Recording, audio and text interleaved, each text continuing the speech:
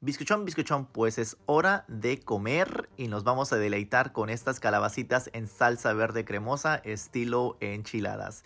Y este video está dedicado para mi hermano Miguel Ángel Sánchez que le encantaba darme buenas opiniones para que pudiera yo sacar mis videos adelante.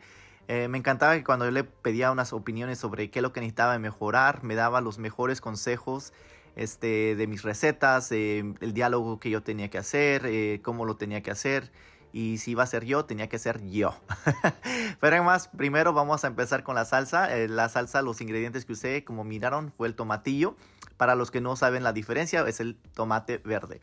Pero también le agregué este jalapeño serrano, este cuatro dientes de ajo, cilantro, medio manojo, eh, dos tazas de agua, este, para la, también le pueden agregar este, dos cucharitas de sal para que amanezcan hinchados por la mañana y no se les anoten las arrugas. Ay, Jesús, por maldito, no me quiere cerrar esta.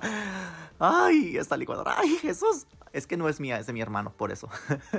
y como yo no uso la licuadora, ay, pero más, vamos a seguir moliendo. Se me olvidó la crema. No te digo, por favor. Este, para la crema vas a agregar a media taza de crema, la que gustes mientras no tenga azúcar.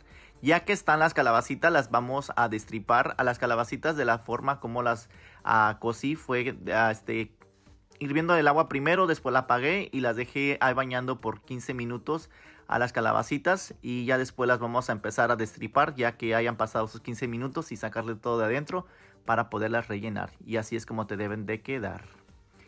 Ya que está el pollo, lo vamos a desmenuzar pero les quería contar un poquito de, este, ¿cómo se llama? Les quiero dar un tip uh, o un consejo sobre esta receta. Uh, que me hubiera encantado que me hubieran dicho.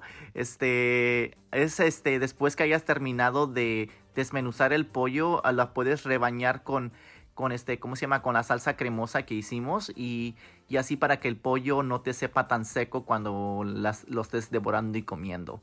Y así es como lo estamos rellenando. El, las calabacitas ya que están rellenas con el pollo las vamos a freír un poquito. Ya saben como es un estilo enchiladas. Ya que están fritas bien ricas las vamos a bañar en la salsa verde. Este, ándale, apúrate, échale.